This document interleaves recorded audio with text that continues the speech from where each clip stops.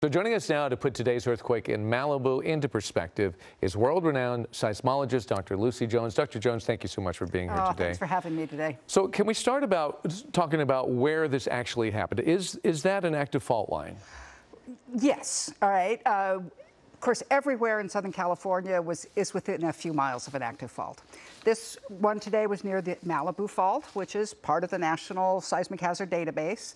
Um, may or may not have actually been on it. Often these smaller earthquakes are on some secondary feature. But yes, it's a well-known active area. We've had multiple magnitude fives in the Malibu area over the last few decades. Well, Dr. Jones, today you shared a map showing all of the earthquakes of a four-point magnitude or greater that had happened so far this year. So what do you make of this? Is this unusual? Well, I did go back and look, and it's not just number of magnitude fours, but number of sequences with at least one magnitude four. And since 1961, we average about six to eight a year, mm. right? There have been years with only one or two. The largest before was 13 back in 1988. I know people who can remember back then, there was a very active period where we had a damaging earthquake in LA every year. Wow.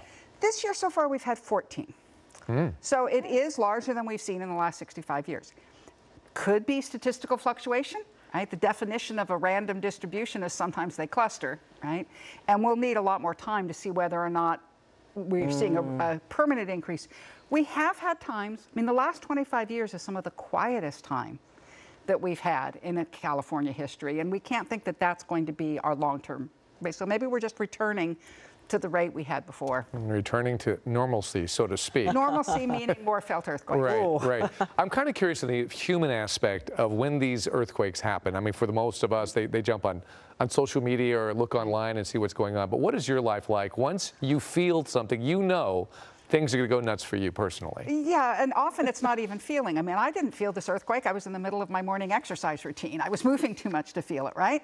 But I got a, a page, I get a text message for every earthquake above 2.8 in Southern California. And I was like, oh, shoot. There's no rest for Dr. Jones. well, I mean, I could choose to not do it because uh -huh. I, am now no longer working for the government. I'm still associated with Caltech, and they've asked me to do it when I can.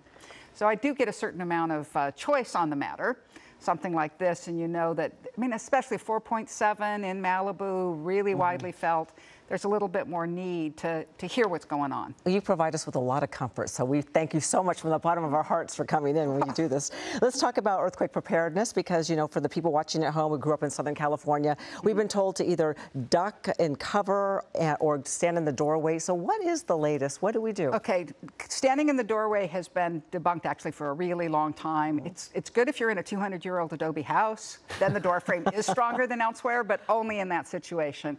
Drop cover, hold on, we say. It used to be duck and cover. Um, really is the safest things because a lot of the damage, well, there's two big ways that you can get injured in an earthquake.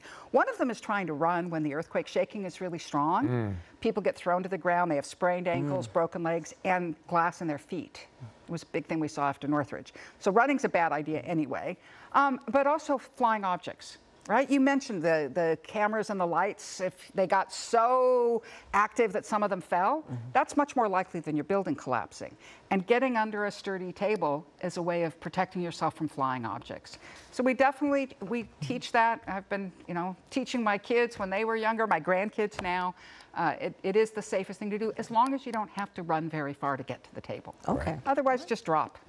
I remember being with you in Sacramento when you were talking to, to Congress, the state, state legislature. I know one of your pet peeves is the way we build our buildings. Yeah. Uh, just briefly, can you tell us what's the update on that and how you feel about that? Okay, so far we have not advanced the project. Mm. The problem being our current building code is life safety only. Make sure you crawl out alive. By adding 1% to the cost of construction now, we could save a huge amount of money in the long run, but we haven't chosen to do that. And so I would love to see us move forward with functional recovery, the build, building a building so you can repair it, because that's the way to protect our communities. Um, and so far, no, we haven't gotten it through, but we've got some plans for this, the coming uh, uh, fall and winter to really try and connect with legislators and see if we can get this moving again. Well, election coming up, so hopefully they're listening. I, I hope we, I, we'll probably need to wait till after the election to get their attention. Dr. Lucy Jones, always a pleasure to have you. We, we know you've been so busy today, especially yeah. running around from place to place, so we really appreciate your time. Well, thank you yeah, for having thank, me. Thank you so much. Hello, I'm Mark Brown. Get more great ABC7 content by clicking the subscribe button for our YouTube channel and download the ABC7 Los Angeles streaming app on Fire TV, Android TV, Apple TV, and Roku to watch on your TV.